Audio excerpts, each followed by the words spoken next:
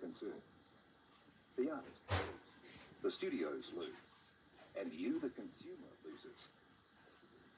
The unauthorized copying of videotape programs is illegal and carries with it penalties of fines or imprisonment.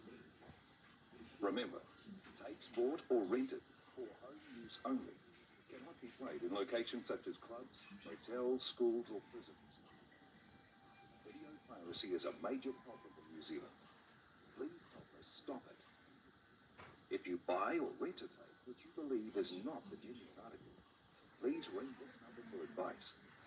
Or write to Post Office Box 041 Newton, Auckland. This message is furnished by the New Zealand Film and Video Security Office.